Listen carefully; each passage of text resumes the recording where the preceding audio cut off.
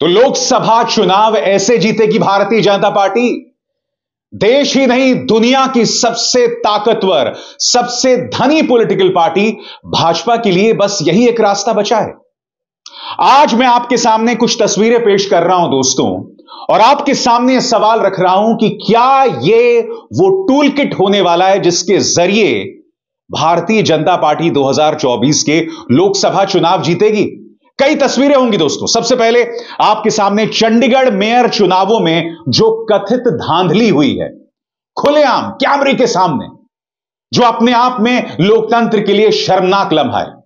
दूसरी तस्वीर तेजस्वी यादव को ईडी ने बुलाया, पूछताछ किया। एक दिन पहले लालू प्रसाद यादव को बुलाया जाता है।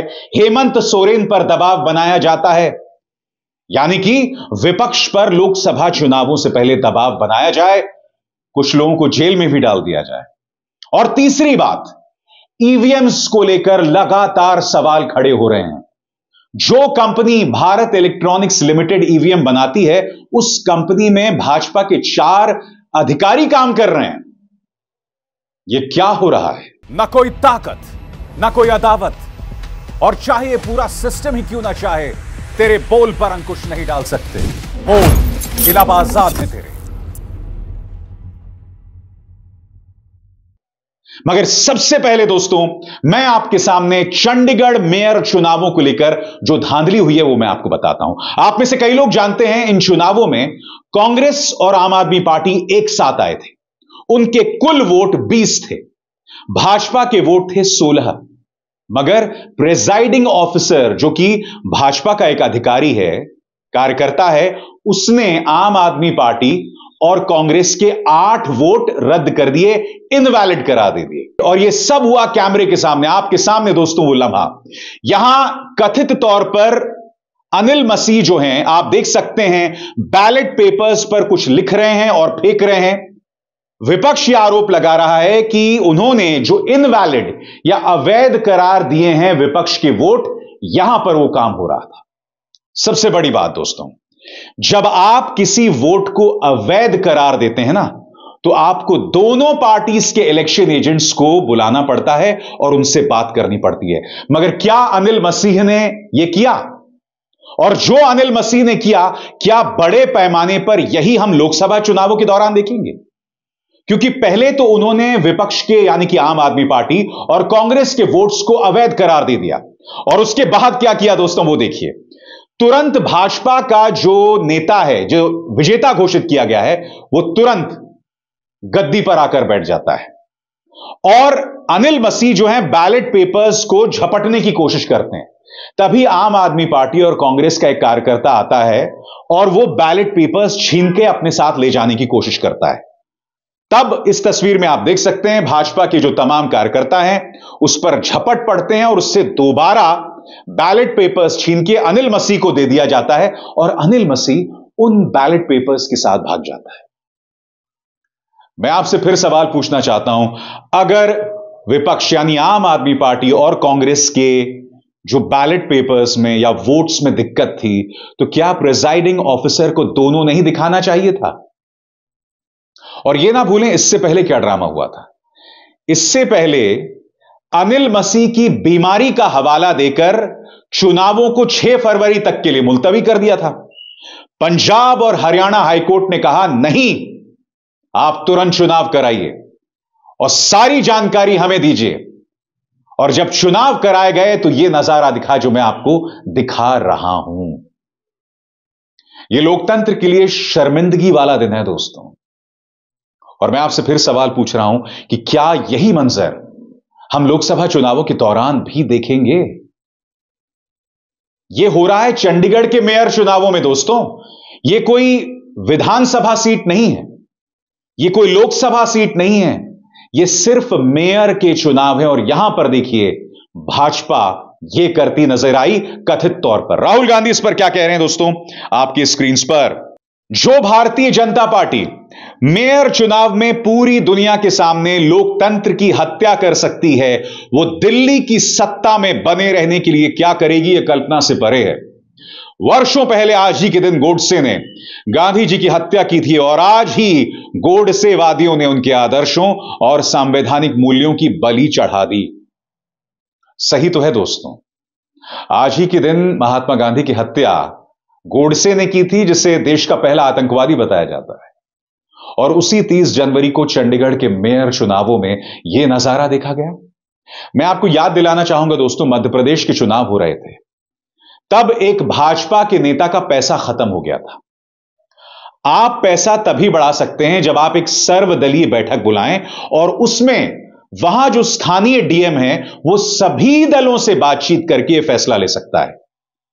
मगर यह बैठक नहीं बुलाई गई। और उस स्थानीय अधिकारी ने, मेरे ख्याल से सतना की घटना थी, उस स्थानीय अधिकारी ने भाजपा के नेता के पैसे बढ़ा दिए। यह नज़ारा हमने मध्य प्रदेश के चुनावों में कई बार देखा है। किस तरह से स्थानीय अधिकारी खुलेआम भाजपा के नेताओं की मदद कर रहे थे। और फिर एक so called presiding officer Anil Masih Chandigarh के मेयर चुनावों में यह करता हुआ दिखाई देता है। विपक्ष कह रहा है कि यह देश के साथ गद्दारी है। यह देशद्रोह है, उसे गिरफ़्तार किया जाना चाहिए। मैं फिर आपसे सवाल पूछना चाहता हूँ, आप किसी भी पॉलिटिकल पार्टी के समर्थक हो सकते हैं, मगर क्या यह किया जा सकता है? और इसी 30 जनवरी को एक और चीज़ हुई, दोस्तों। तेजस्वी यादव को ईडी ने बुलाया। पूछताछ चली। एक दिन पहले उनके बीमार पिता लालू प्रसाद यादव को भी बुलाया गया था। नौ घंटे तक पूछताछ चली थी। उनकी बेटियों मीसा और रोहिणी ने कहा था कि लालू जी के साथ अच्छा व्यवहार नहीं किया गया था। झारखंड के मुख्यमंत्री हेमंत सोरेन पर भी जाँच एजेंसीज का दबाव बना हुआ है। राहुल गांधी को भी अलग अलग तरीकों से घेरा जा रहा है। यानी कि बात तय है कि लोकसभा चुनावों से पहले किसी बड़े राजनेता को गिरफ़्तार भी किया जा सकता है। यानी कि पहले अधिकारियों के ज़रिए, जो हमने मध्य प्रदेश के चुनावों में देखा था, चंडीगढ़ के मेयर चुनावों में देखा था, अधिकारियों के ज़रिए नतीजों को आप अपने पक्ष में लाएँ। फिर आप नेताओं पर लगातार निशाना साधे। मैं आपसे एक सवाल पूछना चाहता हूँ। भ्रष्टाचार की बात भाजपा करती है। अजीत पवार अब आपके साथ हैं भाई, देवेंद्र फडणवीस उन्हें जेल भेजने की बात करते थे। अब उनकी बराबरी पे as a deputy chief minister बैठे हैं। छगन भुजबल उनके साथ बैठे हैं। नारायण राणे, सबसे बड़ी बात, असम के मुख्यमंत्री हेमंत बिश्व शर्मा पर भ्रष्टाचार को लेकर कितने मामले थे? क्या हुआ? आप भी जानते हैं दोस्तों। विपक्ष के किसी भी नेता पर जब भी कोई दबाव हो जाँच एजेंसीज का सहारा लिया जाए और उन्हें अपने पाले में ले लिया जाए, या फिर अगर जो पाले में ना आए तो उसे लगातार परेशान किया जाए, जिस तरह से तेजस्वी और राहुल गांधी को परेशान किया जा रहा है। राहुल के बारे में तो आप जानते भी हैं ना दोस्तों। किस तरह से उनकी सांसदी छीन ली गई थी। उन्हें घर से बाहर कर दिया गया था। सुप्रीम कोर्ट को दखल देना पड़ा था। मैं फिर आपसे सवाल पूछना चाहता हूँ, दोस्तों। ऐसे चुनावों में बराबरी कैसे हो सकती है? और अब मैं आपको एक और खबर दिखाना चाहता हूँ। इंतज़ार कीजिएगा। आगे जाकर ईवीएम को लेकर भी मैं आपको बताऊँगा, मगर एक और खबर, और ये इंडियन एक्सप्रेस की पड़ताल है। दोस्तों, आप जानते हैं कि बीएमसी के चुनाव, यानी कि मुंबई के जो स्थानीय चुनाव होते हैं, उस पर रोक लगी हुई है। मगर क्या आप जानते हैं 500 करोड़ रुपए जारी किए गए हैं, मगर ये 500 करोड़ रुपए सिर्फ़ एकनाथ शिंदे और भाजपा के विधायकों के पास जा रहे हैं विकास कार्यों के लिए। जो विपक्ष है, यानी जो उद्धव ठाकरे और कांग्रेस से जुड़े हुए जो विधायक हैं, उन्हें कोई पैसा नहीं दिया जा रहा है। 500 करोड़ सिर्फ़ एकनाथ शिंदे से जुड़े विधायक और भाजपा को दिया जा रहा है। मैं फिर आपसे सवाल पूछना चाहता हूँ यह किस सूरत में जायज़ ठहराया जा सकता है। सरल शब्दों में कहा जाए दोस्तों तो आपके स्क्रीन पर मुंबई महानगर पालिका के चुनाव नहीं हो रहे हैं। विधायकों को विकास कार्य के लिए फंड देने की योजना है। इंडियन एक्सप्रेस के मुताबिक फंड भाजपा और शिंदे सेना के विधायकों को दिया गया है, जबकि उद्धव सेना, कांग्रेस और एनसीपी विधायकों को एक भी पैसा नहीं मिला है। और ज़ाहिर सी बात है, सवाल किया जाएगा कि भाई ये कैसा विकास है भाई? मैं इसलिए आपसे बार बार कह रहा हूँ दोस्तों, ये बराबरी का मुकाबला कैसा है? विपक्ष को पैसा नहीं दिया जाता है। पूरी की पूरी जाँच एजेंसीज उनके नेताओं के खिलाफ लगी रहती हैं। जो अधिकारी हैं, नौकर शाह, वो भी भाजपा के साथ हैं। और मीडिया और प्रचार तंत्र तो मैं बात ही नहीं कर रहा हूँ। व्हाट्सएप के ज़रिए भाजपा ने जिस तरह से जहर फैलाया हुआ है, उसकी तो मैं चर्चा ही नहीं कर रहा हूँ। वो तो मैं आपको लगातार बताते रहता हूँ। और सबसे बड़ी बात, जब विपक्ष ईवीएम पर चर्चा करने की बात करता है इलेक्ट्रॉनिक वोटिंग मशीन्स पर चर्चा करने की बात करता है तो चुनाव आयोग उसे नजरअंदाज क्यों कर देता है? दो खबरें हैं और दोनों चर्चा लायक हैं। पहली बात इलेक्ट्रॉनिक वोटिंग मशीन्स बनाती हैं दो पीएसयूज जिसमें एक है भारत इलेक्ट्रॉनिक्स लिमिटेड बीईएल एक फॉर्मर सरकारी अधिकारी हैं, जिनका नाम है ई ए एस शर्मा। उन्होंने चुनाव आयोग को खत लिखा था। यह वो खत है दोस्तों। और इस खत में ई ए एस शर्मा ने कहा था कि भाई, ये जो भारत इलेक्ट्रॉनिक्स लिमिटेड है, जो ईवीएम्स बनाता है, उसमें चार अधिकारी भाजपा के हैं। उनमें से एक भाजपा राजकोट का अध्यक्ष है। मनसुख भाई खाचरिया। क्या यह विरोधाभास नहीं है? क्या यह कॉन्फ्लिक्ट ऑफ़ इंटरेस्ट नहीं है? और सबसे बड़ी बात, क्या आप जानते हैं, ये जो ईवीएम के अंदर सोर्स कोड होता है ना, जिसके ज़रिए आप नतीजे बदल सकते हैं, वो सोर्स कोड किसके पास होता है? चुनाव आयोग के पास नहीं होता है। पत्रकार मीतू जैन ने पूरी पड़ताल की थी और उसके मुताबिक यह सोर्स कोड होता है बीईएल भारत इलेक्ट्रॉनिक्स लिमिटेड के इंजीनियर्स के पास। वो बीईएल जिसमें भाजपा के जो अधिकारी हैं, भाजपा के नेता, वो नौकरी कर रहे हैं। अब अगर ईएएस शर्मा, जो कि एक अधिकारी हैं फॉर्मर गवर्नमेंट सर्वेंट है, वो अगर ये सवाल उठा रहे हैं तो चुनाव आयोग इसका जवाब क्यों नहीं दे रहा है? विपक्ष ने एक और सवाल उठाया था, आपको याद है ना, विपक्ष की क्या मांग थी? विपक्ष की बहुत सरल मांग थी कि भाई जब आप वोट देते हैं, जब आप इलेक्ट्रॉनिक वोटिंग मशीन में बटन दबाते हैं, तब जो बंदा वोट देता है, उसे एक वीवीपैट का जो पर्चा मिलता है, उस पर्चे में वो पहले मिलान कर ले इस बात का कि मैंने जिस पार्टी को वोट दिया है, वो वीवीपैट में है या नहीं? और उसके बाद उस वीवीपैट के पर्चे को एक बक्से में डाल दिया जाए। क्यों?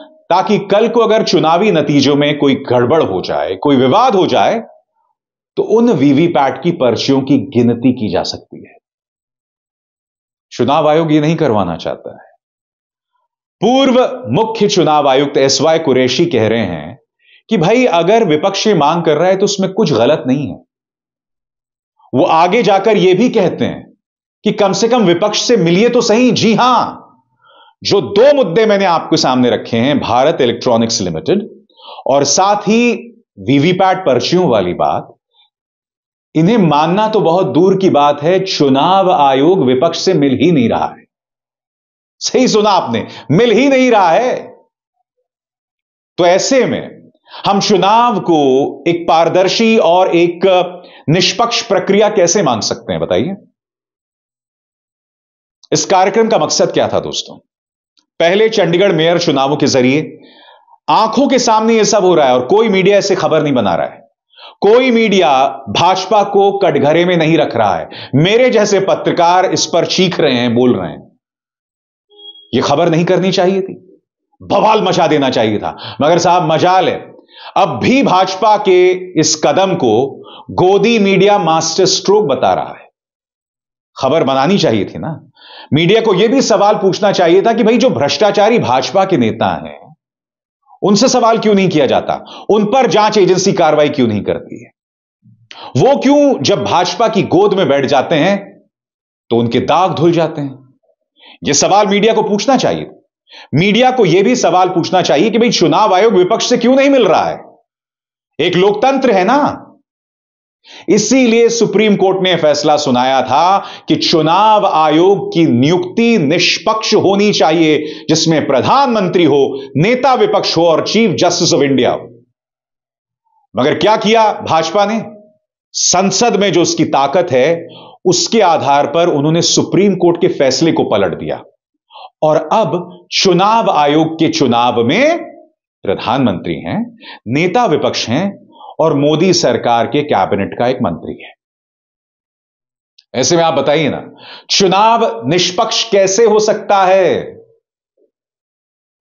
यह बहुत चिंताजनक बात है दोस्तों। चंडीगढ़ में जो हुआ, वो एक खतरे की घंटी है लोकसभा चुनावों के लिए। और दुख की बात यह है कि इस पर कोई सवाल नहीं कर रहा है। मगर हम इस मंच पर सवाल करते रहेंगे। बोल के लब आज़ाद है तेरे में, बस इतना ही। आबिसार शर्मा को दीजिए इजाज़त। नमस्कार।